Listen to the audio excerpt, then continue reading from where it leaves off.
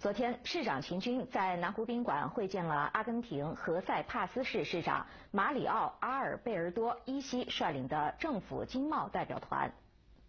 秦军代表襄阳市委市政府对伊西一行的来访表示欢迎，并向客人介绍了我市的经济社会发展情况。秦军说，新能源汽车是我市汽车工业未来的发展方向。目前，我们已经拥有五个新能源汽车整车制造厂。通过对新能源汽车产业链的培养，到二零二零年，全市规模以上新能源汽车企业产值将达到一千亿元。秦军希望双方在新能源汽车产业方面加强交流与合作。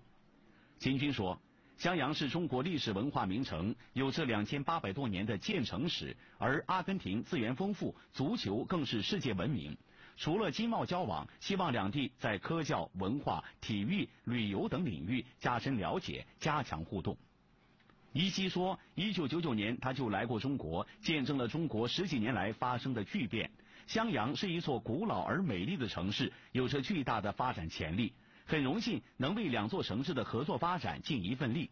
伊西表示，回到阿根廷后将广泛宣传襄阳，推介襄阳，推动襄阳与阿根廷的友好合作。